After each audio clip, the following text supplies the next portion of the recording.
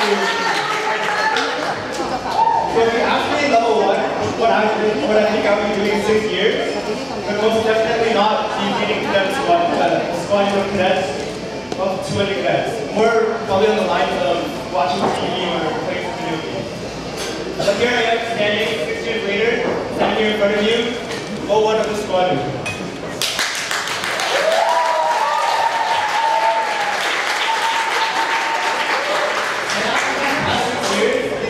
Wonderful confidence boosting character building six years, my cadet career is finally coming to an end. It's hard to believe that I dedicated six years, a third of my life so far, to this wonderful program. Six years of drill, six years of putting on this uniform, six years of proud, proud march onto the parade square, and six years of developing my leadership skills and other skills. This may have been said before by many people, but it doesn't take, but it doesn't make it any less true. Without this program, I would not be the same person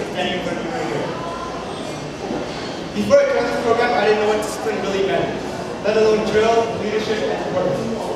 I didn't know, uh, but I found cadets has found a way to teach me all that, and much more. I've learned how to lead, how to build up my confidence, and to take responsibility for my mistakes and also my successes. I've learned that I've learned that it takes more than one try to get something right. And I've had my fair share of doubts in this program. Thoughts of quitting because the time spent in cadets and at school with all the extracurricular activities. But the other thing that this program taught me is how my time management skills. To all the cadets out there struggling with time, I'm here to tell you that it's possible. You can manage your, your schoolwork, extracurriculars, and cadets, and make time for friends. All it takes is some planning and sticking to that plan.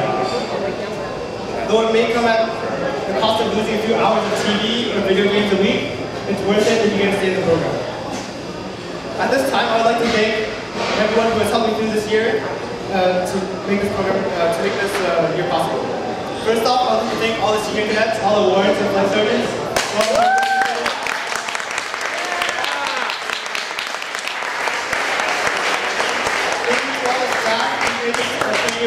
especially with the size of our squadron. Thank you to Officer Cadet Delaney. It's been a, a wonderful uh, pleasure working with you this past few weeks with the annual annual routine. I know it's going to turn out well in a few weeks. Second Lieutenant Rosenzweig, it's been an honor working with you these past two years, last year with the level 4 2IC and this year's training, training ward. You've always been there for me, trying to provide me with all the help I need when I need it. Second Lieutenant Ho, it's been a it's been a nice working with you too, especially during the March break trip you always, uh, it was a bit hectic, but we made it through. Captain Lee, you've been in the squadron with me since I was level 1, when I first joined Flag Party as a clueless recruit, till now, standing here at one of the squadron, so thank you to that. I owe many thanks to you for helping me develop my skills, develop me, developing me to the person I am today.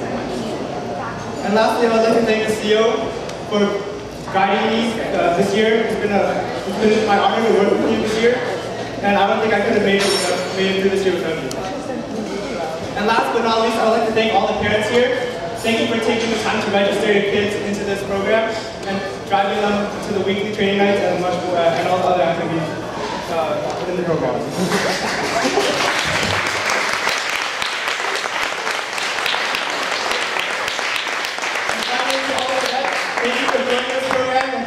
sticking with this program.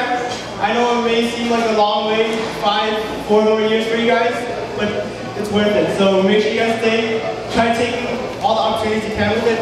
If you find something you enjoy, drill, band, marksmanship, join it and stick with it. You'll get much more out of the program if you do.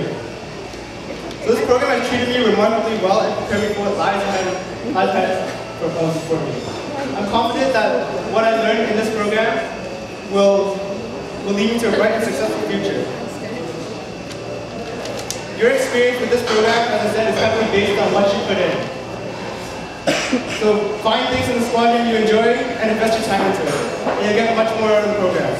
Start moving your life into that direction, and you may inspire others to do so as well. Remember, being an example is not about what you say, it's about what you do. Thank you.